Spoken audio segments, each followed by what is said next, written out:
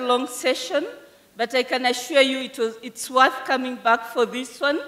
What we are going to have is an exciting session where we are going to have highlights on perspectives from communities and representatives. When we were arranging this uh, workshop, one of our main aims was to bring in voices from different sectors. So we've been able to listen to academics, we've listened to people from the private and public sector, we've looked at uh, people who work in the ground, but now we'll have an opportunity to listen to voices from families, from people right in the ground. So, and this is a very innovative initiative that was set out and been implemented by two fabulous young members of the forum, Charlie and Jocelyn. I would like to invite them to invite the panel for this session. Thank you.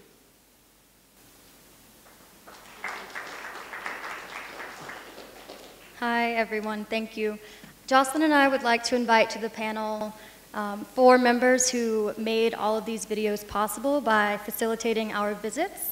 So if we could please invite Joan Kahn from Restavek Freedom, Christine Mutaganswa from Partners in Health, and Bete and Lale Demeke from Project Mercy. So this is one of the new uh, innovative uh, activities that we're bringing to the forum. As Amina mentioned, when we are conceptualizing this particular session in Hong Kong with a few of the planning committee members, um, we had really set out to bring some diverse perspectives to, to this particular workshop because of the family and community investment piece. So um, with innovation, obviously, comes uh, some challenges. This, this, these videos were collected as late as Friday afternoon, so we've, we've put them together and uh, been working until the last minute to get this together. Um, but I think that's an important piece of this, is to be able to bring in near real-time information into these sessions. Um, as we've mentioned, and as Anne mentioned in the earlier part of the workshop, we're a learning forum, we're a global collaborative forum, so you can see we've got case studies from Haiti, Rwanda, and Ethiopia. For those of y'all not familiar with uh, some of the locations and work we've done in the past. Um, our third workshop was in Latin America, so we'd like to continue the momentum, continue the global dialogue. So we have Joan Kahn here representing Restavek Freedom in Haiti, um, as well as representation from the region.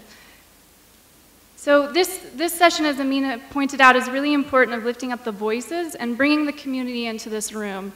So that's what we hope to show you today.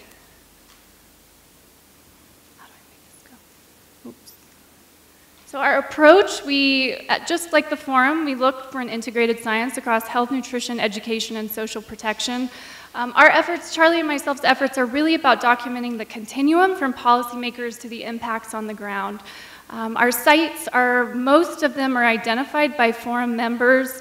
We have a selection criteria that we've, we've been working on this for about three months now, and many of you in the room were instrumental in helping us identify these sites. Um, and Charlie and myself really seek to experience the components of this policy to implementation continuum through the organizational lens.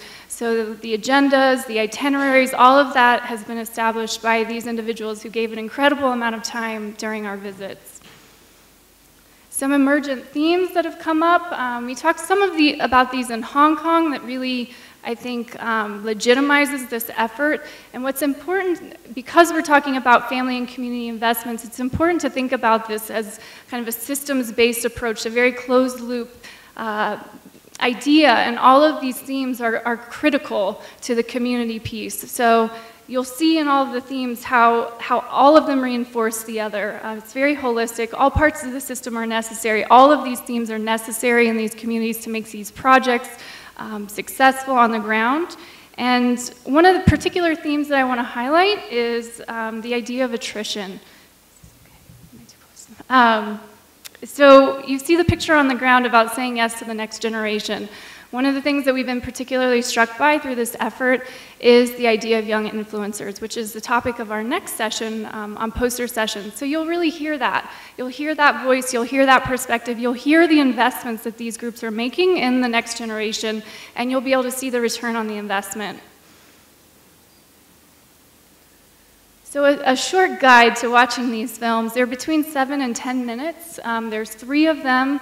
Again, the objectives of the session were to bring in a diverse um, um, viewpoints, diverse perspectives. We didn't have to work very hard to get that diversity. I think um, Gary and Amina and Simone, when we all sat down to plan this session in Hong Kong, we talked about um, children with disabilities, mothers, single fathers, those different types of perspectives, and those those all were not very hard to find. and these, all of these individuals are working among those different perspectives. So these themes, we highlight the players, the partners, the issues, both at a macro and a micro level, as well as the approach to the issues on the ground. And we really try to lift up the voices and how these problems um, are, are conceptualized in terms of a future agenda.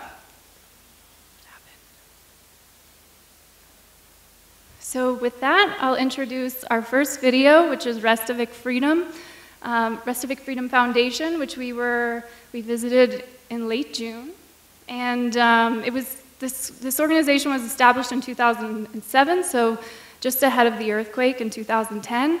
The central location is in Port-au-Prince, although they're starting to establish a community-based program in Port Salut, which is in the southwestern part of Haiti. Um, and the mission is to end child slavery in Haiti in our lifetime. So, Maya, would you go ahead and play this?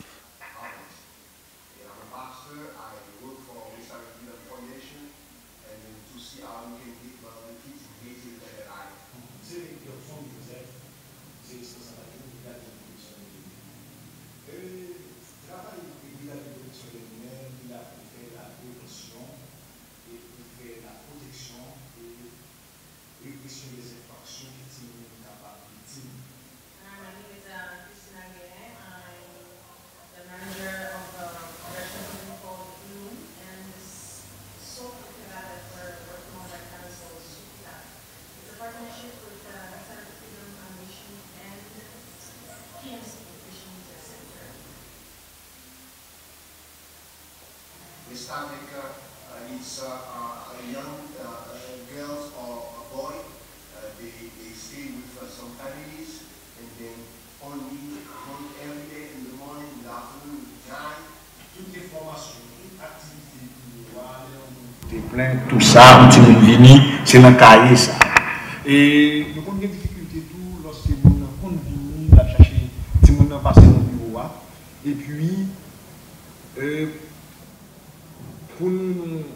recherche,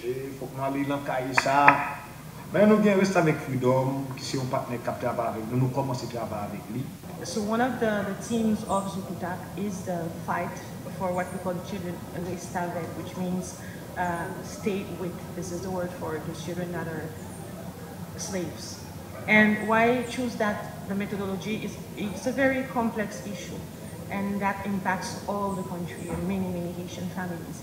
And that is, it is in the culture now to have children at home and it seems like it's nothing, not a big deal, nothing important. And why this methodology instead of just giving messages? It's because we have the possibility to do a lot of advocacy through this kind of methodology. But uh, uh, Freedom Foundation, we would like to see how we can change the life and, and this way we work with uh, churches, with leaders, with, com with uh, our communities uh, to see how the best way we can change the message.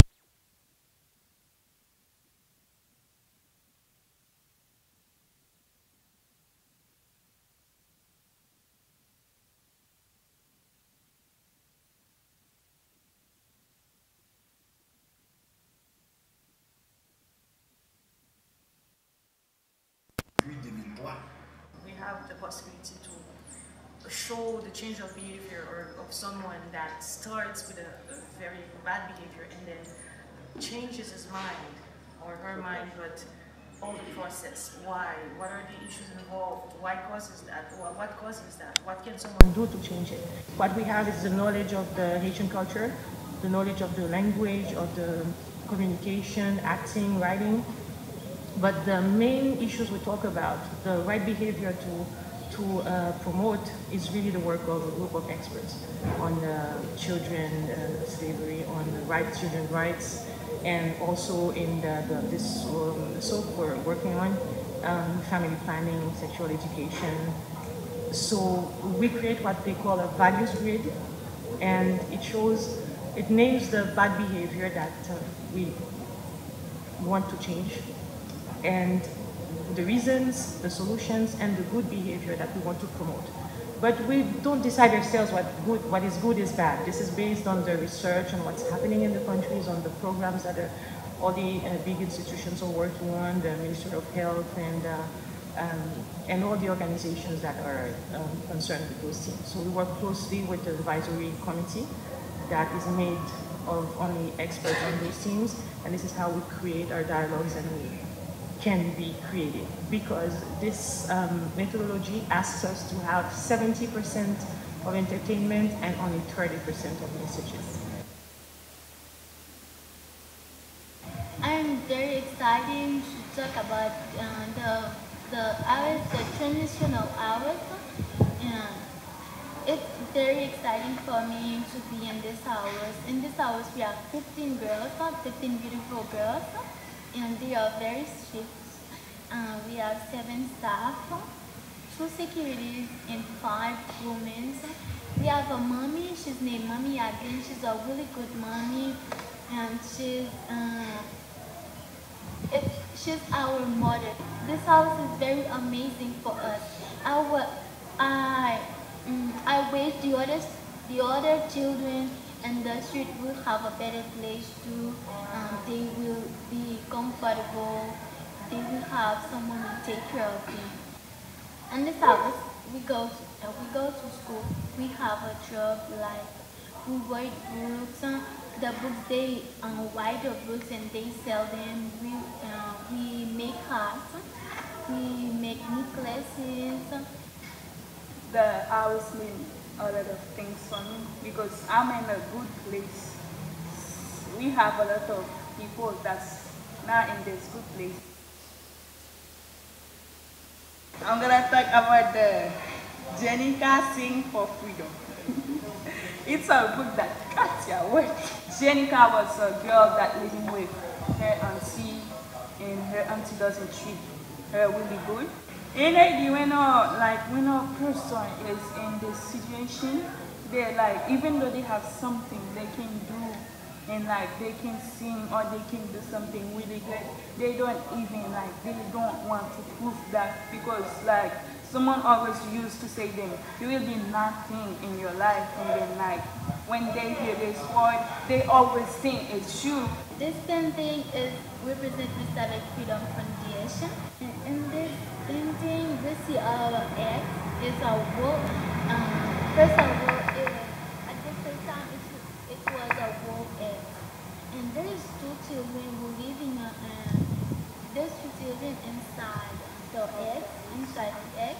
And they don't have a family, someone who take care of them, they don't go to school, they don't have someone who pay attention uh, with, uh, for them, and they, it's like they don't live. But uh, one day, um, we started freedom come printed a foundation just passing the way. And they see the eggs and they said, oh, look at the beautiful egg.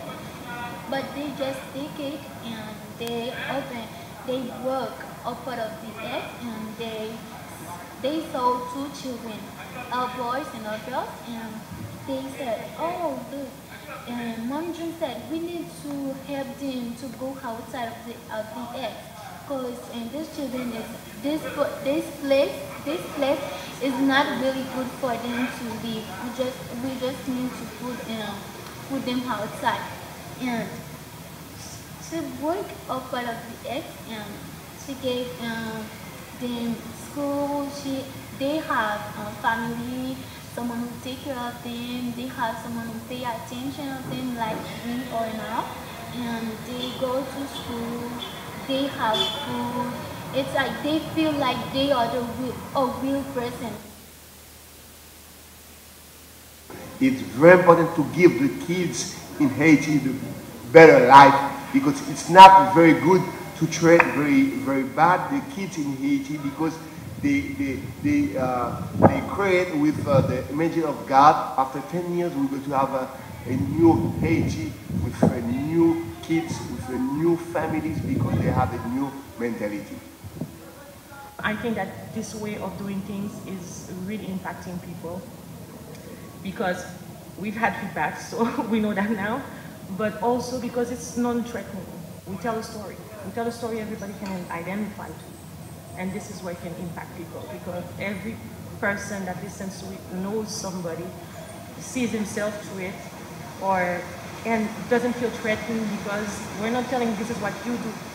This is what so-and-so does, and this is how so-and-so changes for their life. And you have the choice and the responsibility to, to do the same. My dream is to be uh, a psychologist. Uh, I would like to um, to help children.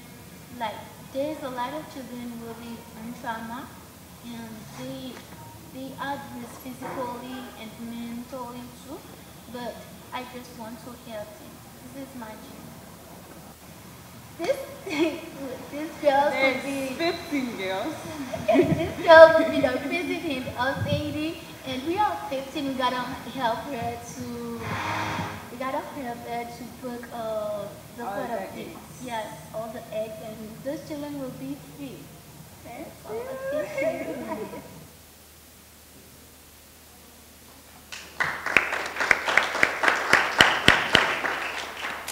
So that was Restavek Freedom, and we want to wholly thank everybody who participated in helping us create that video. Um, before I move on to Partners in Health, I would like to introduce Yisak Tafere. Um, in my haste to get the session underway, I neglected to introduce him, and he will provide a research reaction after all of the videos. Okay, so now we're on to Partners in Health, who was established in Rwinkwavu, Rwanda in 2005. Of course, they began in Haiti, but they opened a new branch in Rwanda. Um, their mission is to provide a preferential option for the poor in healthcare.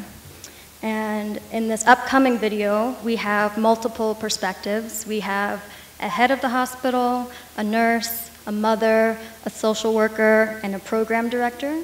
And these viewpoints um, are spread across two programs. One is the All Babies Count initiative, and the second is the Pediatric Development Clinic program, which you'll hear about in the video.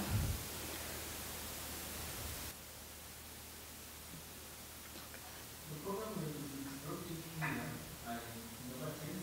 We have two programs. One is the pediatric development clinic, which started now since one year.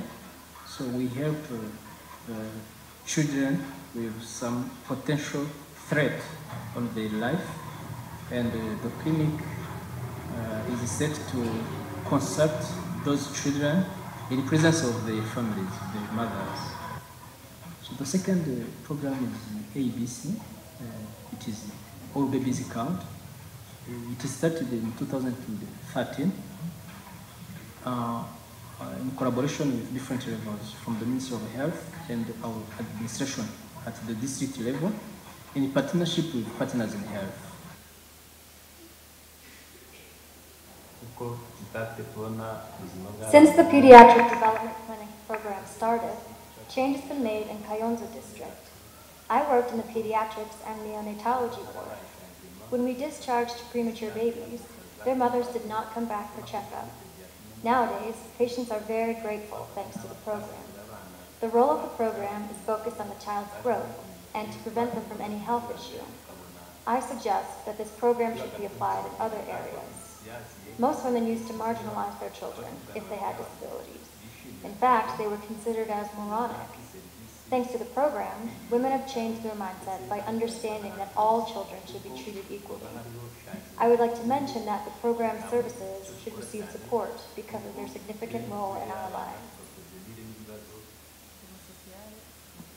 I am a social worker at Rwinkwavu District Hospital in the Pediatric Development Clinic program. My role is to teach women and their children in groups. I teach women depending on the age category of their children. For example, I teach about malnutrition. We also have toys that we use while playing with children and teach women how to play with their children. We also teach them to breastfeed their children. Afterwards, we provide counseling to women who suffer from depression to improve their living situation. After a group session, we do one-on-one meetings to have a deep conversation and provide particular advice to improve living standards.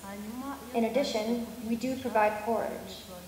Afterwards, as social workers, we go on home visits to verify if the home is clean and make sure that the mother is correctly providing milk to children to gain weight. We have to provide milk to some women who have given birth to twins and are not able to breastfeed their children. In conclusion, many women have stopped from being lonely thanks to the program that has helped them to meet with other women who are facing the same challenge. When I gave birth to my child, he was born tired. At three months, he had strength to lie on the stomach. However, at nine months, my child could not sit. Whereas at the age one, my child can work. I help my child to practice sport thanks to what I learned in the Pediatric Development Clinic program, which allows him to sit and eat. Whereas at age one, he could not sit. I used to think that I was alone with a child born malformed. However, it was very helpful to meet other women with the same issue. Now, my child is two years and three months. As you can see, he is able to grab something. Moreover, with my help, the child is able to sit and walk. I am looking forward to seeing the child walking without any help.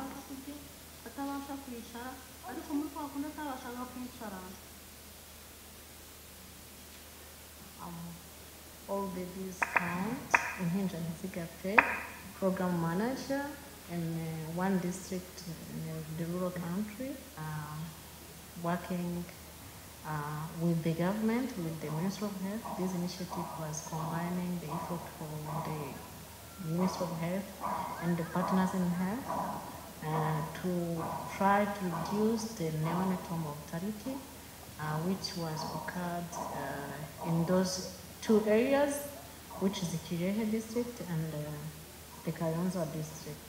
Uh, those initiatives tend to have three main components, which are the mentorship and, uh, and training, which consist the formal training and the training by on-site job training, which commonly help the staff whom we met at the health center. The third component was the quality improvement at the site or at mentorship site, where at the end people tend to come by quarterly basis to present their quality improvement and they share peer, it's like a kind of peer-peer learning where they learn each other on what they did, what best had been improved. We had many indicators um, where included the ANC coverage, including the attendance of women for, for ANC visit,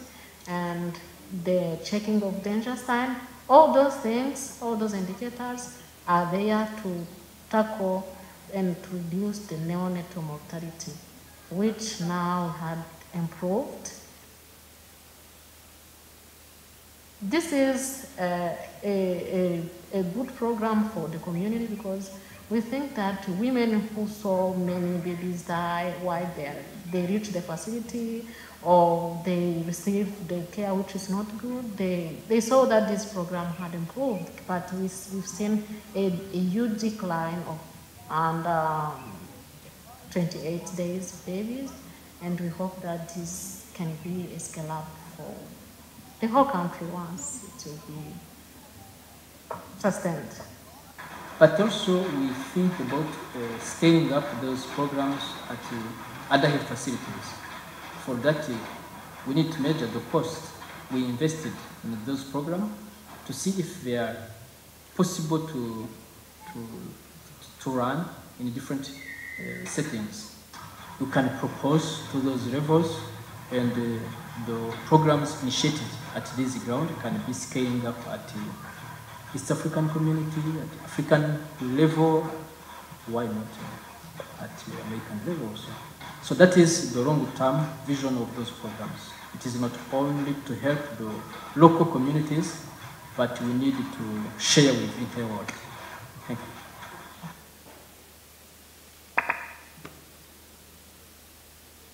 Thank you also to everyone at Partners in Health for hosting us and facilitating our visit. Um, so moving on to Project Mercy, um, it was established in 1977. Apologies for that typo. Um, and it is settled in Yetebon, Ethiopia, which is about three hours south from here. Um, and their approach is a holistic one in a fight against poverty.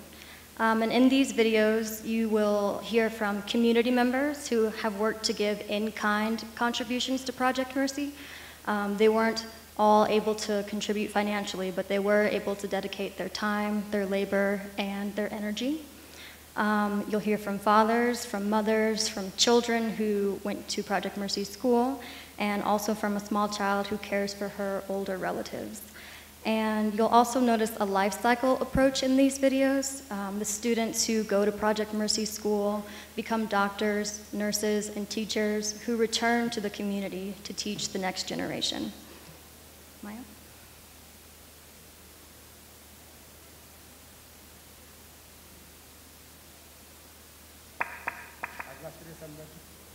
Elder Freya brought Marta and said that people in the area are illiterate. Let us open a school. This entire area was community farms. The local people said we will give the land. Let the school be opened. So that our children do not remain illiterate, we want education to start. Then the community was told that the community would have to pay to educate their children. The community said, we do not have any money, therefore we cannot pay for the school. However, we will contribute our labor. Whatever the work, we will contribute and we will do. All we want is for our children to become educated. With that agreement, the school was built and opened.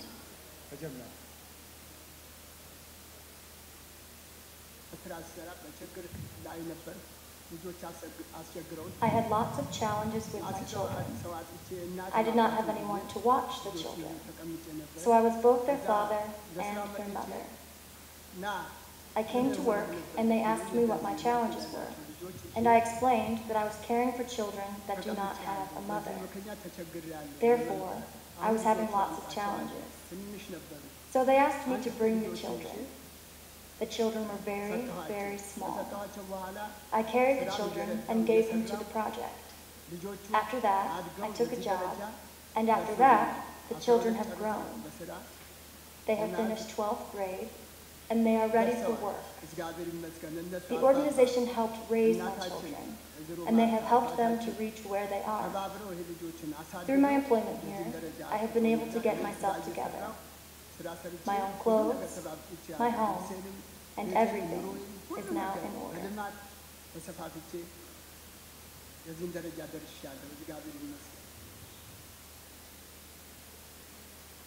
Ethiopia uh, has managed to meet the Millennium Development Goal 4, which is about child, reducing child mortality by two-thirds uh, in 2012. That's a, that's a major achievement for the nation.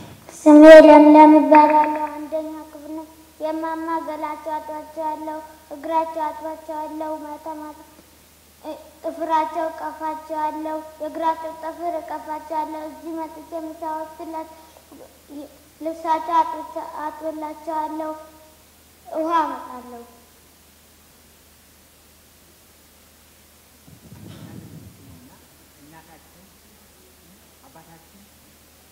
Our mother, our father. What they have done for us, we cannot repay. Without differentiating men and women, all those that did not have jobs have gotten jobs. All those that did not have livestock got livestock. Our children have gotten educated, and some of them are now doctors. May the Lord bless them for their work. May they live a long life, both our father and our mother. May the Lord bless them. And what we owe to them, may our children repay.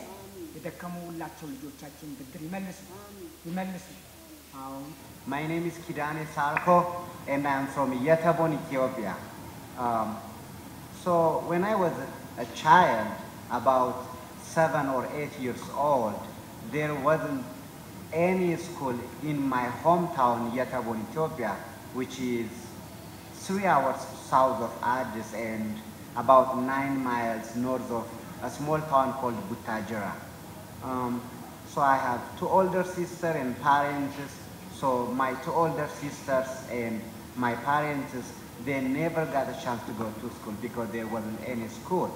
But when I was old enough, when I was about seven years old, Project Mercy came to my hometown, Yetebon, and built a school for us. It wasn't easy when I was going through grade one, you know, from elementary to high school. One of the reasons was, you know, my parents, they didn't understand the importance of school. So they would rather um, have me at home helping them, you know, fetching water or collecting firewood, you know, or helping at the garden. So, but I had to. So for us, just learning was just amazing, something to be able to read and write. You know, I really like education. I really wanted to learn and even to be first in the class. So I would study so hard and ask my teachers, and I was like very happy to do homework. Then the government placed me to go to attend law school. Um, here in this country, the system is different. You don't, you don't, you don't have a choice to, you know, where to go. You don't have a choice what to study. The government just would say, oh, what's our necessity, you know, what's our need. So I attended their, um, their law school for three years. It is a five years program, but I didn't want to be a lawyer, but I didn't have any choice. So until I got a choice, I would just keep going. So when I finished my first year at law school, I came back and I don't really want to, you know, keep doing this thing. I really want to study medicine and I really want to help patients. That's my passion. But it didn't happen, so I was just, I went back to the second year, did the same thing for the third year, but I said not, not anymore. So in 2011, I volunteered for a year at Project Mercy. Then I went to America and I attended a biology pre-medicine uh, program there and I also did a minor in chemistry and also do some, you know, public health classes. So now I'm happy what's happening with myself, but but I, I still have the passion to be a medical doctor. But I I also appreciate public health, especially the holistic approach of public health. You know, it's not treating a single person, a single patient, not fixing something. It is addressing the root cause of the problem. And that like clean water, what, that sanitation, that nutrition, whatever that is, public health is a holistic approach and it is preventing something from happening or, or addressing if it happens right away so that it won't be a major case. So I'm, I'm really happy now I'm going to attend Vanderbilt University at Nashville, Tennessee. Um, I'm doing a master's in public health, um, focusing in, in global health the government is working to, I mean, establish a continuum of care service from community to facility levels through a functional uh, referral system. But that system is not as such uh, strong in this country.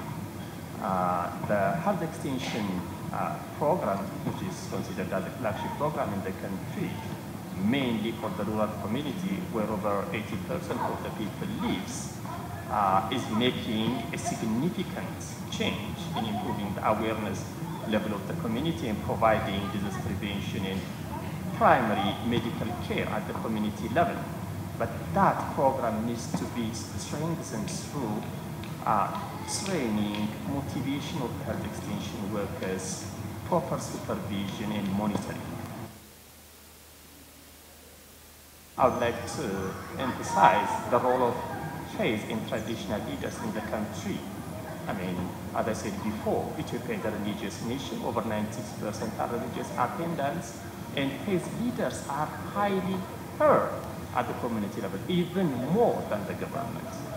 But these uh, important groups are not well uh, aware and mobilized for the well-being of the nation we need to work on phase leaders so that they will uh, get the right awareness and be mobilized as an important agent.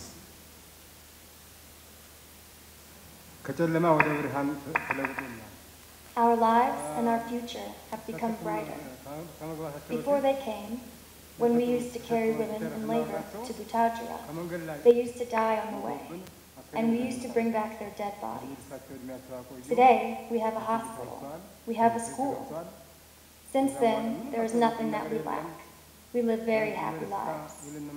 Our children have been educated and have become teachers themselves. Other children have become doctors, and others have become nurses. We have nothing that we lack. May they live a long life. So, you know, my passion is to help my people and, my community, but I also want to, you know, do wherever the door is open for me. So, yeah, so I really want to come back to Ethiopia and serve my people, and especially I want to be part of the part of the Ministry of Project Mercy. Just a wonderful, a wonderful organization. Whatever that is, I don't know that exactly, but I know for sure uh, I want to serve um, my country and my home and, and any country in Africa or wherever, you know, humans are humans, you know, people are people, you know. My passion is to invest in people and to see others, you know, you know, be in a good place. Like I have siblings, I have friends, you know, you know, I, I want, I want that, you know, problem to be changed and I want them, I want to see them in a good place, you know, being an engineer, being a doctor or whatever that is and just to be you know, to be the future leaders of Ethiopia, you know. Um, I'm very optimistic. I'm very crazy optimistic. Um, I think Ethiopia is in a good track. Right now we are doing very well, but we have a long way to go. And I want to be, you know, a small part, you know, I want to be a part of that and, and, and I hope to see a better Ethiopia in the future. Thank you so much.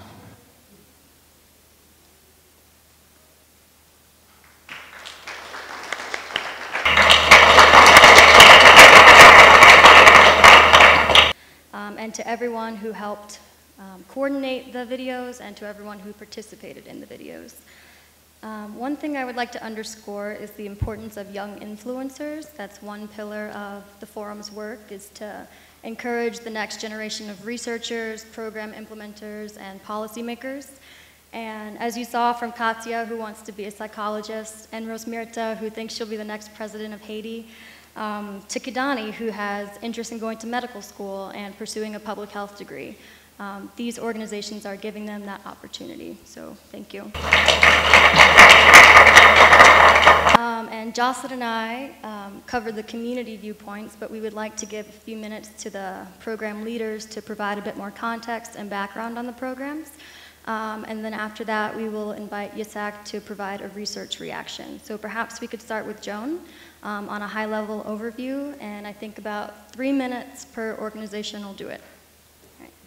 So thank you very much, ladies. Job well done. Um, it's my first time to see that, so it shows the trust I have in my young colleagues here. Unfortunately, Haiti has the distinction of being the poorest country in the Western Hemisphere. So I could greatly identify with Dr. Coutinho when he um, talked about investing in the health of parents, because in Haiti, when a mother dies, unfortunately, their children are oftentimes doomed to a life of child servitude. And so that's what we are trying to uh, combat in Haiti. Restavek is synonymous with child slavery, oftentimes in Haiti. It's endemic of many of Haiti's social ills, from uh, poverty, illiteracy, gender inequality, gender based violence, and just violence in general. We are working to change the cultural mindset of Haitians towards children, and particularly non biological children.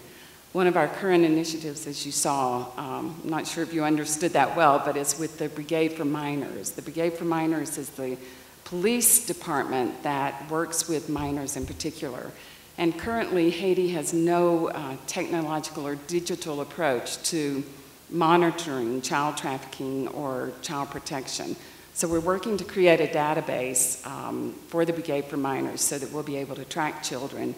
I don't know if you could see, but what they use right now is hard copy binders that they hand rule and they input data manually. There's no way of filtering that system. There's no way of finding a child that you might bring to BPM. And so right now we, we have been in the discovery phase, we're now in the design phase, and we hope to field test next, next month. It will be the only um, database of its kind that exists in Haiti right now. So we're very excited about this project. It will also help us track perpetrators. It will help us um, with corruption issues leading to dismissing cases of violence against children. And so we're really excited about this. So thank you for having us. It's a great honor to be here.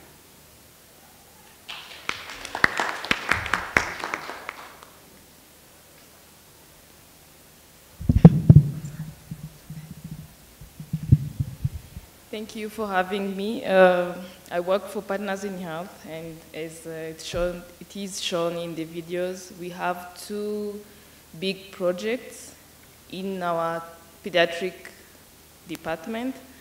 And uh, one, I, I liked the way the presentation was done.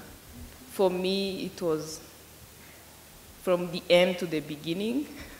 So Maybe I will go from the beginning to the end.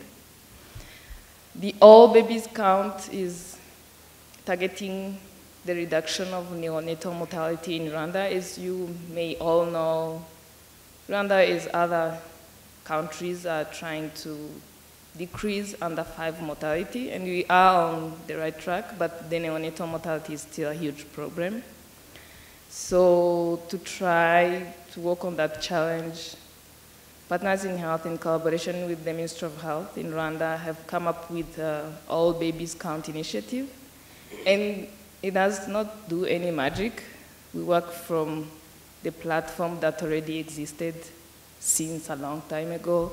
We focus on the four ANC visits. We're trying to recruit moms since their early pregnancy and try to provide them with some information and also trying to address some of the health issues, but also we enroll them in other programs. We have uh, a program on social and economic development where we have patients becoming producers.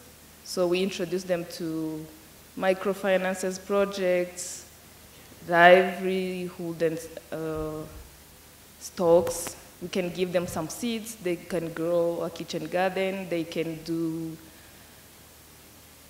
some businesses from what the family does not, not, does not need.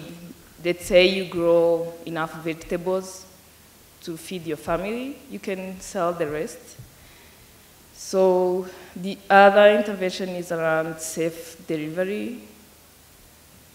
We're trying to mentor the midwives that are already working in the district hospitals that are receiving all complicated delivery cases from health centers. So maybe I should mention that the way the health system works in Rwanda, we go from the community, well, community health workers that are in charge of maternal and child health have some, they know some of the danger signs for both babies and mothers. So they can refer moms that are in danger to the nearest health center, or they can call an ambulance from the district hospital using the rapid SMS project that uh, the MTN, it's a network provider in Rwanda, has helped us, you know, establishing. So the other major point we're working on is uh, what happens when a baby is born right away and also in the 20 days of life. That's the postnatal period. We, in the PIH supported districts, we have, uh, we try to culture the good practices and uh, some of the good practices are about resuscitation of the newborn, the kangaroo mother care, and uh, when babies are discharged from the health center, we are trying to link them to the community so that they can do the follow-up. Just recognize the baby in respiratory distress or a baby with fever so that they can refer back to the hospital. With the PDC, which is the Pediatric, Program, Pediatric Development Clinic, we've, we've realized that babies are surviving. So then what do we do? We don't have any structured way to follow them up. Not necessarily that they need to be seen by a medical doctor or they, have, they are having any clinical issues, but how will we know if a preterm baby is catching up? If he was, okay, most of them are low birth weights, but how are we following them up to know if they're not falling in malnutrition or if their mothers are. Thank you. Uh, to wrap up, those two are, those two initiatives are really trying to focus on what to do when babies are surviving. How do we follow them up? Thank you.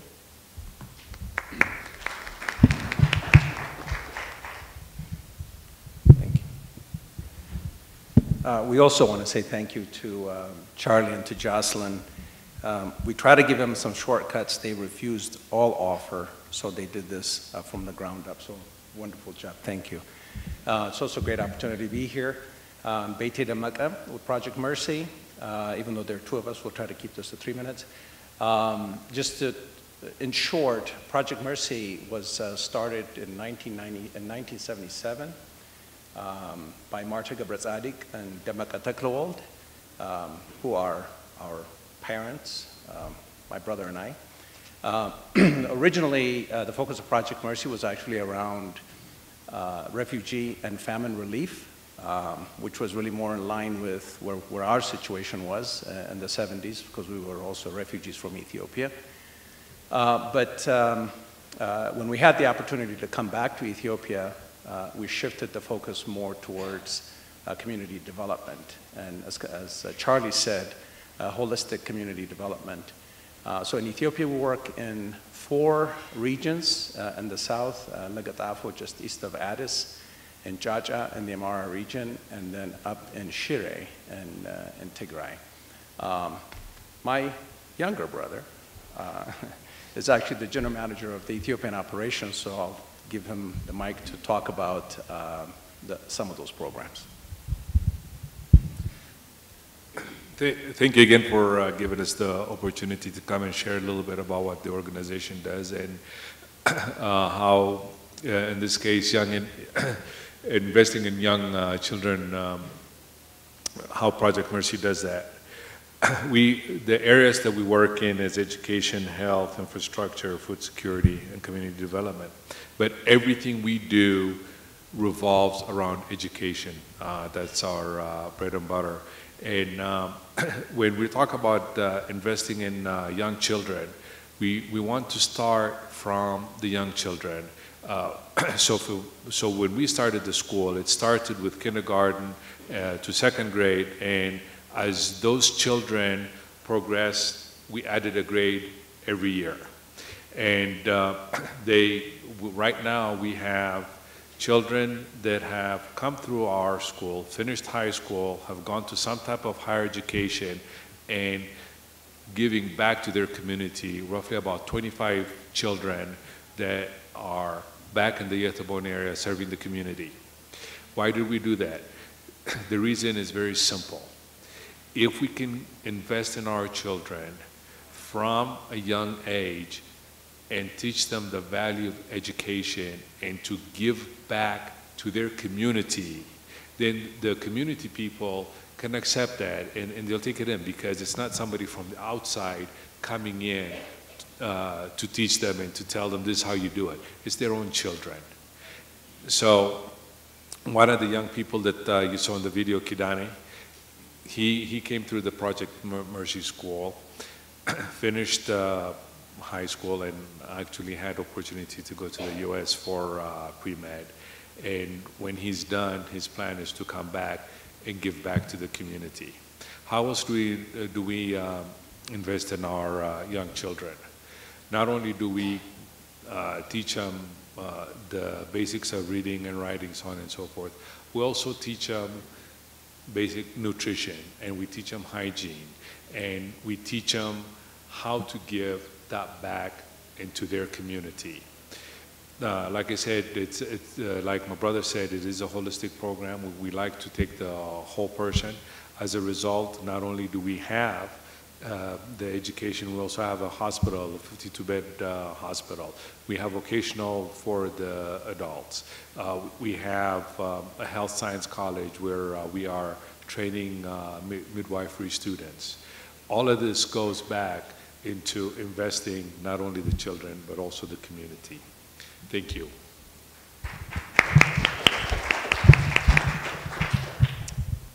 Thank you very much for those overviews. If we could invite Yisak to the podium to give a research reaction.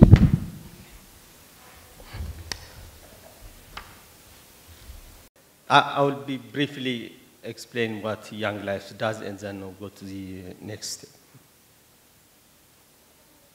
Uh, maybe Young Lives, some of you may know that Young Lives is a longitudinal study run by uh, University of Oxford, but uh, funded by DFID mainly, but there are also uh, supportive uh, um, funders. Um, it has been a study in Ethiopia, India, Peru, and Vietnam uh, on 12,000 children and started in the millennium. But we have two cohorts of children, those who are born in the millennium and the other, uh, they were eight years old as backup uh, children. So uh, we have 12,000 in four countries, but in Ethiopia we have about 3,000 uh, children. Um, just to give you, we have two methods. We use survey and qualitative studies. So the survey is very big, about 3,000 children and their families. And the, the qualitative is, of course, very sub-study of it across um, five regions, 20 sites in the survey and five sites in the qualitative. So far, we have done four rounds of qualitative and four rounds of survey studies. And we have some sub-studies on education, on social protection, on OVC and other studies, uh, more on, on education. These are the sites uh, we study. Uh, just as you can see, we are at the center because, as you know, longitudinal study uh, should reduce the attrition rate because in the final analysis, after 16, 17 years studies, then you have to have a good number of children that they have to have some conclusion. So we were at the center of the countries and when there is accessibility, when there is less mobility of uh, the, the children. Uh, we have a lot of research outputs. Uh, I think we'll, I, will, I will show you the uh, website, but I don't have to take your time just to, to explain what we have. Uh, so let, let, me go directly to the reflection. I think I have seen them three of uh, the, the transcripts. Um, we have some relationship, some things that we, we met in the field, but we have also some things that we, are, we may ask. I mean, maybe those people who are involved in the project may have some response later on we will discuss. Uh, the Haiti um, project, I just I saw that it's very important project. Uh, it brings the community, the wider community, the families, and of course a small project. But uh, there is a good relationship with us because in our study we do children, parents, community leaders, and uh, government officials. So we do the whole research, then how it is involved. Um, let me mention one case, which is Janika, that there is abuse. Because in our longitudinal study, we have found that there are some of our children have been some abuse from not only from outside, but also from families. For instance, if I take one example of an uh, Asunu from our one side, the, she was working since the age of 10. She was working for paid in irrigation. She was living with her uh, grandparents because her, her parents have died.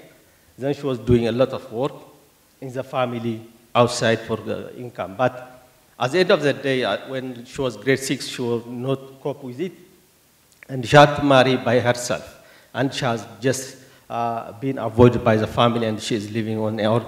There is a cultural aspect that without the interest, I mean the consensus of family, there is no marriage because there is a lot of transaction involved in it. So she is not in a good term with the family. So there are abuses that like a, a, a child from Haiti.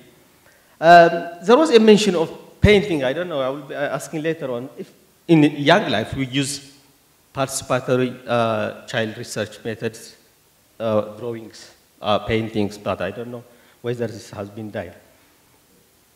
There is a dream from the children, from the girls we have seen at the end of, we have a child aspiration, what we call.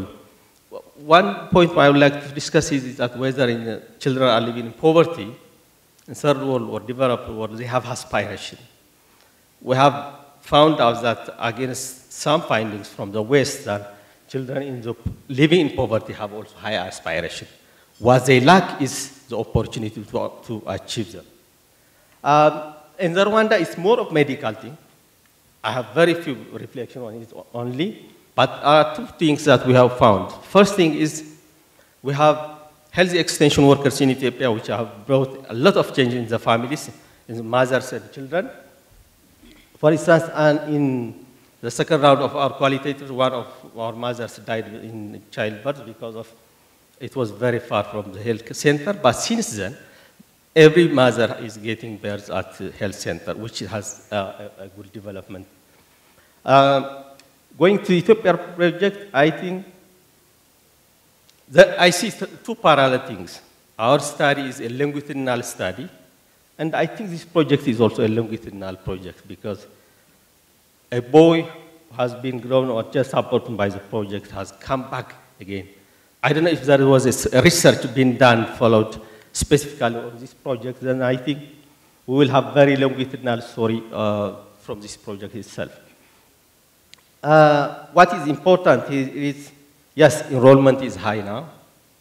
As Kidan has said, that there is a change, but the dropout and the quality is a concern now. Um, Kidan's story tells a lot of things. Parental need for child work, which in our son, I have a child work. Uh, transition to high school is very difficult because they have to go to town, and there is a lot of expenses there. Aspiration high, but opportunity options are less. Not only for unsuccessful children, but also for successful. Those who join university, there are some limitations that you cannot realize. So lessons, very challenging school. Broader national poverty is limiting individual achievement of aspiration. Children agency in, uh, in pursuing dreams.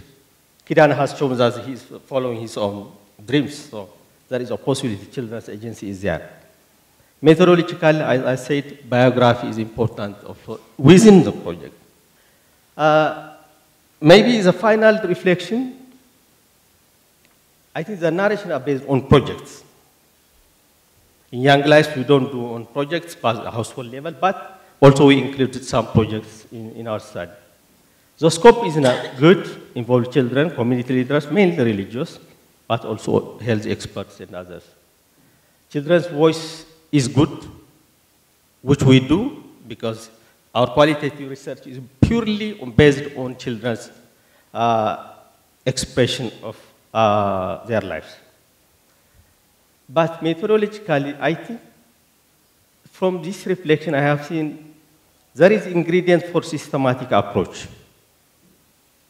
Holistic and longitudinal study of children's lives through children themselves. Can we do that? I think I, I understand that it is from out, uh, out of the scope of the projects, but it is important. Scaling up. In the morning there was one, uh, I think one presentation. Do we start from practice to research or from research to practice? So small projects can help us generate real life of research, then we can scale up it in bigger ones. So these are questions I think we would like to, to, to talk. Uh, I would be happy if you visit this website and just have your own reflection. Thank you very much.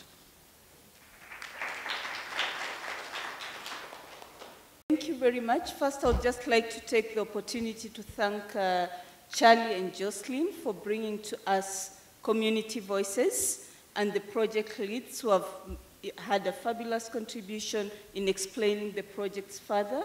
Now we have the opportunity to take questions. You could address the questions either to the project leads or Charlie and Jocelyn.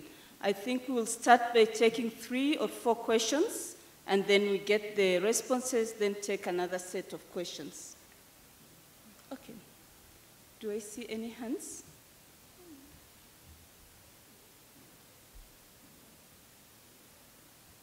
Thank you very much for bringing the voices of the community of children, fathers, mothers, project uh, workers into the room. Really, really, greatly appreciate it. I think it's something new for, for the forum, and I, I think it, it was really fantastic. Uh, one of the questions that I would have, uh, and, and it was pointed out in the research reflections, is that um, it's challenging for one organization to have a large reach how do you think about expanding your reach beyond the bounds of your particular projects and, and the, the particular people that you're directly serving? How do you think about that? And does that enter into your program planning?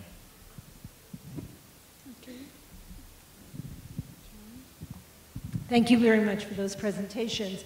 Um, I was wondering if you could talk a little bit about how you're outreaching to fathers and encouraging more male involvement in the lives of young children. Okay, uh, let's take those two questions first, and I think they're general enough that anyone from the table could respond, and another one adds to, the, to that. Uh, thank you for the good question. Uh, for us, we started in two rural district areas, but now the government is has liked the project and because we've also shown some improvement in the neonatal survival and the Ministry of Health now is scaling up the protocols that we've developed on neonatal resuscitation, on uh, how do you check the emergency trolley every day in, mater in a maternity ward. You know, those are being scaled in all the district hospitals in the country. We have a presence in all 10 departments of Haiti. Primarily, we've been able to expand through social media, like the um, radio soap opera, and through that, we incorporate the UN, all kinds of people, the government are involved in that, and our advisory committee. So we have expanded greatly there. And when we first started, we asked people, who do you take advice from? Who do you listen to? And the primary answer we got was their pastor or priest. So we started working through a coalition of, of churches and parishes and voodoo practitioners to try to see if they would help us disseminate information. So that's been an incredibly valuable piece of being able to get information out quickly, influence people um, through churches and, and parishes. So that was something we had not anticipated.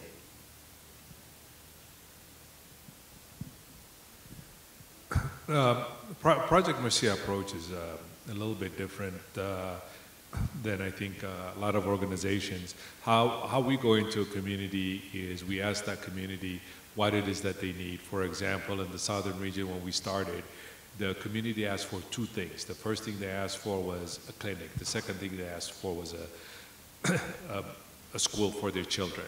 Well, what we discovered was in order to have a clinic and, and in order to have um, a school, first we needed infrastructure. We needed to have roads, we needed to have water, we needed to have electricity. So that's how that community development project was born, not from what we, we aspired to do, but what the community needed. And that's how we expanded into different parts of the country. As uh, for example, in the Judge area, we have the cattle breeding project. That is because that is the, the milk and uh, butter belt for the country and that's what the people wanted. So the way we would like to expand our reach is to uh, pilot these programs in areas, and once they become successful, we hope to replicate those in other areas. Honestly, what Project Mercy would like to do is not be needed in a particular area, once, because once we're no longer needed, that means we have accomplished in wiping out poverty from that area. So I hope that answers the questions. Uh, I think we've not yet addressed the question on paternal involvement. So if I would request just very brief comments on that from the panel. Uh, it's quite interesting to see when we practicing the kangaroo mother care, I'll give that as an example, for the neonatal survival in the wards. Now, fathers are asking why is it called kangaroo mother care? Why not kangaroo father care because also they are carrying the babies on their chests when mothers have to take a shower or have to do something else. So it's now becoming, it's entering in the Rwandan culture. Normally, moms will there for their babies. Fathers will you know, be on the field or farming or catering, but these days they are also involved in the neonatal care, so they are now asking for some names to be changed. I think it's a good thing. It's a good sign. Thank you. Any, okay.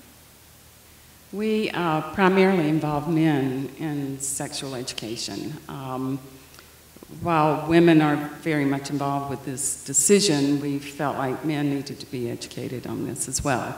And so that's been a very interesting part of our work is having men participate along with their wives or their girlfriends or whoever in this particular program. Uh, we also do that through a justice curriculum that we created. Um, men are very involved in that, and out of our studies, we would uh, predict that there's about 80% of men that participate in those justice curriculums.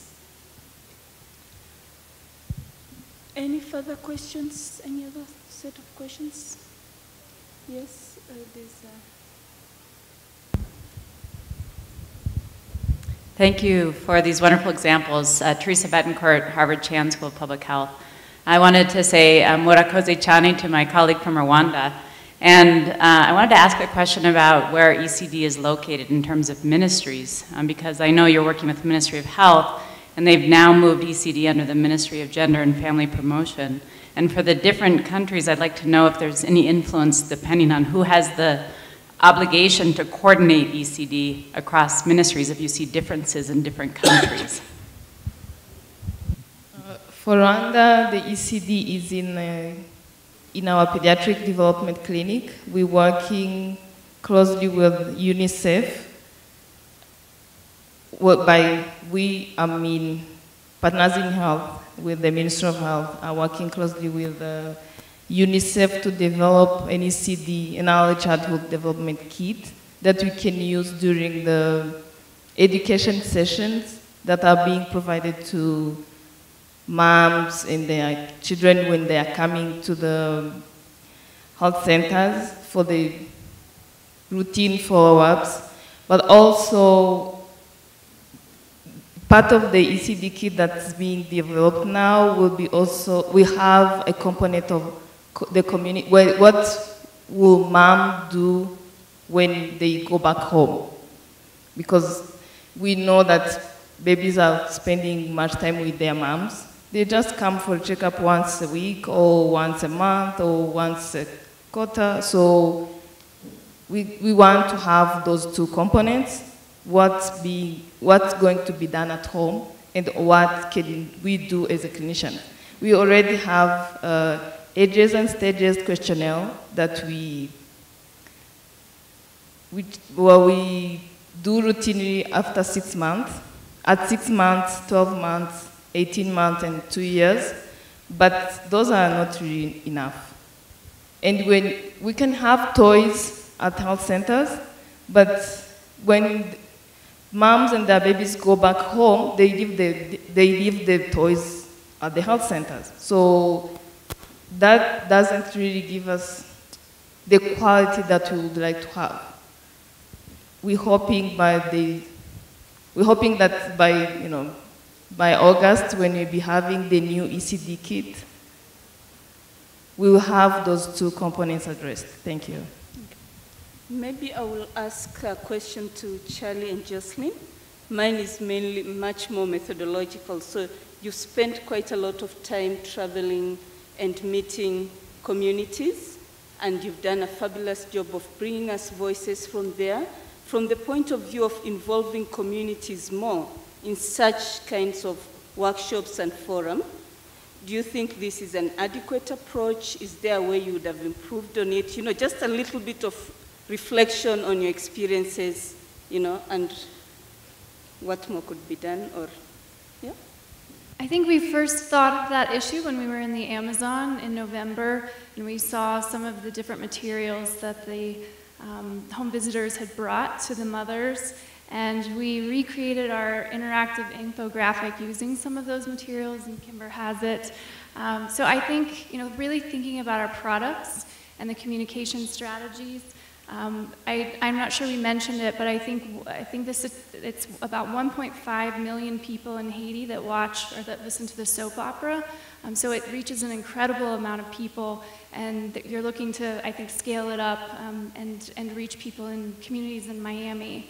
So thinking about these practices that are very very community based and how to ground what we're doing in those and, and, and bring our products, you know, bring, bring those practices to, to the forum and not, you know, always focus so much at the policy level, but the continuum.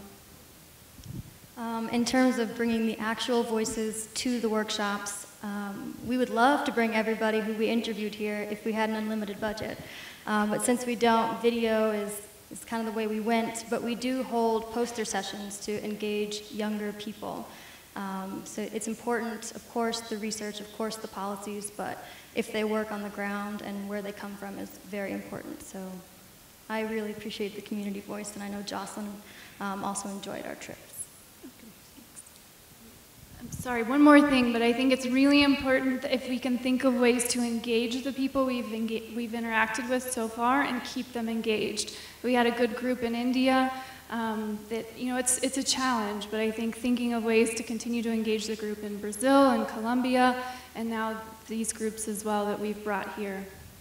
Thank you. And I think also just listening to the presentation, sometimes actually even thinking of connecting these different groups, people who are doing similar work using slightly different methodologies but have the same aspirations, would be a nice way to use this network to increase impact.